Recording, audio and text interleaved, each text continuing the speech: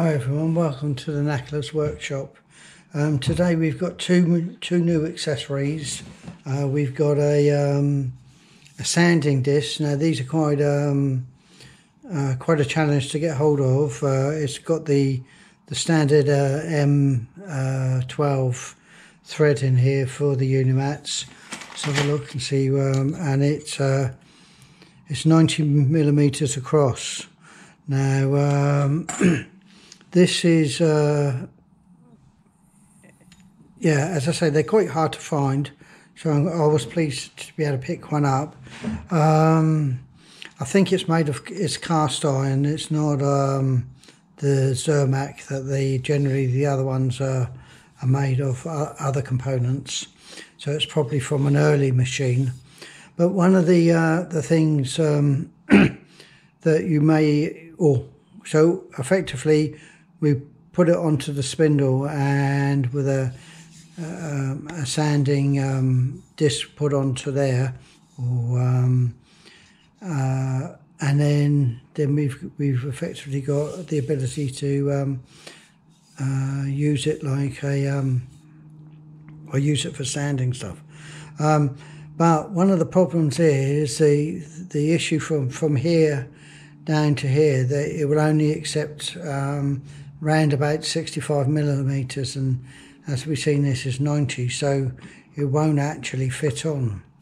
So which brings us on nicely if I just put that there for the for the second um, the the second one. So this was pretty much brand new in the box. Um, I'm not sure it classed as new old stock but it's a riser block and one of the so one uh, so this allows you to uh, put put, put this in here to lift the whole headstock upwards. So we'll do that now and um, we'll see uh, if it makes, how much of a difference it makes. Now they're quite useful. I, have been really trying to get get um, a riser block at a reasonable price, but to be truthful, they're they don't seem to become available at a reasonable price. It's um, they're obviously uh, in demand, so you end up paying a bit um, a bit over the top, really. So we'll take the uh, the locating pin out here. Um, now we should, if that's undone, be able to lift the headstock and the and the motor out. Hang on, just undo that a little bit more, and out we come. Now if I hold that there, what we can see is we've got two slots. So when we put the, the riser block on, so normally the the pin here comes in and, and fits there.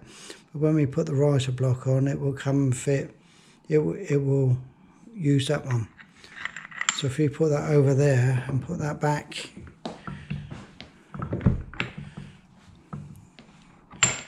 making a bit of a pig's ear of this.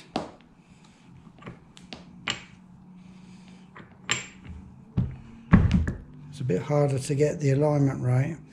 Um, so now we can we can do the uh, the bolt back up to secure it. Um, what is interesting um, is that this this pin is used to make to locate the this back on center line. But with this in you don't have that. So that's um that's that is i wasn't aware of that because you would need an extra long one and a hole in here and there doesn't appear to be a hole in here. But anyway that's uh, just another thing to consider. Um, but what that does it gives us now the ability to screw the uh, the disc on. I've not actually put this on a spindle before. Um, so what uh, what I did find, sorry that noise was the other GoPro. Um, what I did find slightly surprising, most uh, components have a um, a hole in there so you can use a Tommy bars to put it on and off. Um, but I guess it's it. You can hold the um, you can hold the pulley wheels and use that to undo it. But what that does now, it gives us enough clearance to be able to use it there. Or as we've seen in other videos, we can, um, if we undo that, we can, if we move the uh, cross slide back,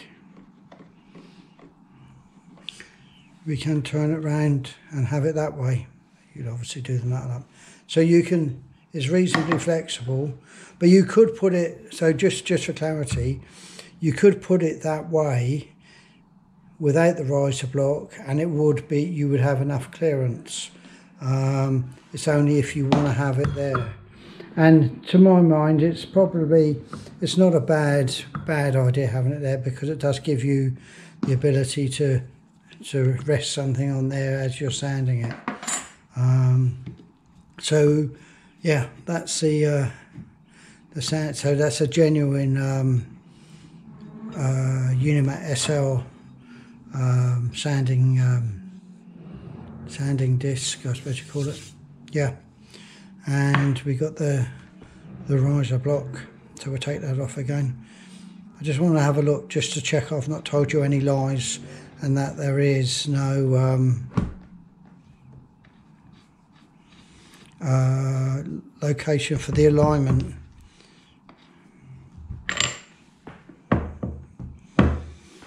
So if we look at that, no, there isn't, because that's the hole. Uh, this is the hole that we, the pin goes through, and as we can see on the, when you put the headstock on, or we'll put it back, we put those.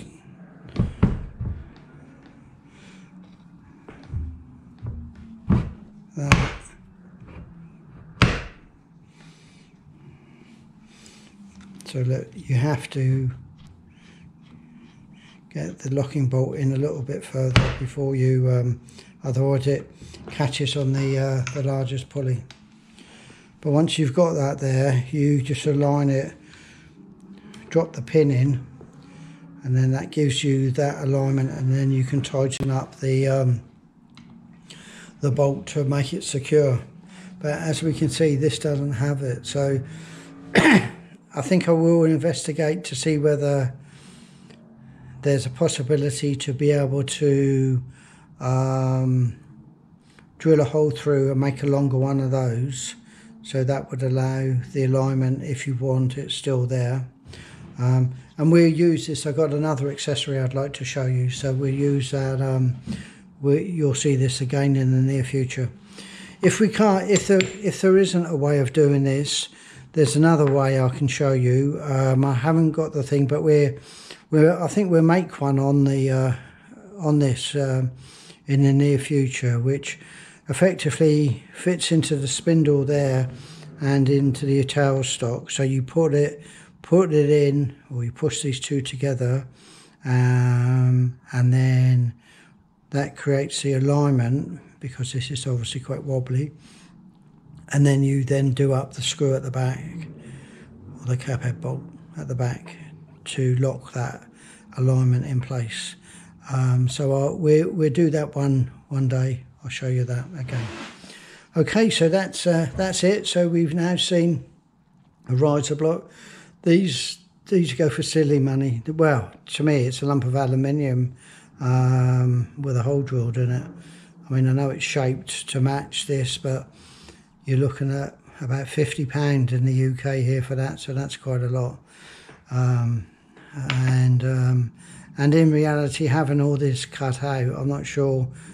You know, one could just make one yourself. And I know um, uh, one of the guys has 3D printed one, and he's experimenting with that. The other thing is when you've got that on, and you lift it up, so your centre height's up. That's fine if you're only doing an arrangement here, but your tailstock is still on the lower level and your cutting tools on the lower, lower level.